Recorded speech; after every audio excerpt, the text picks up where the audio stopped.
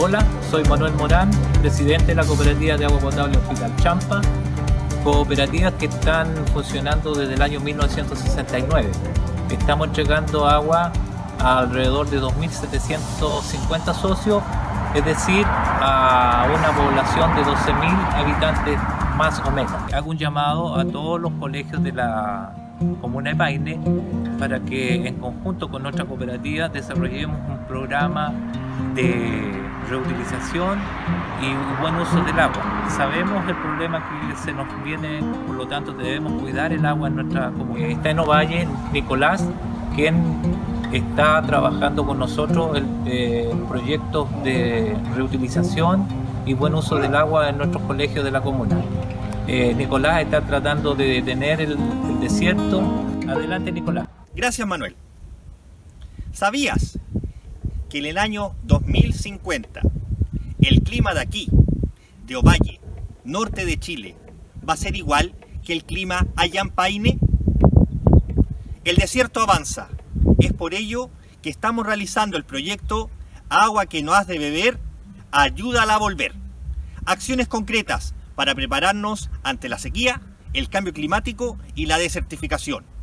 Adelante, profesora Silvia, allá en Paine.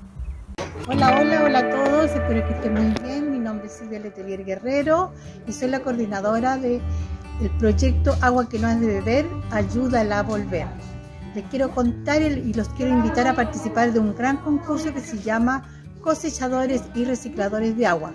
Los invito a ustedes, chiquillos de los colegios, establecimientos educacionales, profesores, a los socios de la cooperativa de agua potable para que participen en este gran concurso.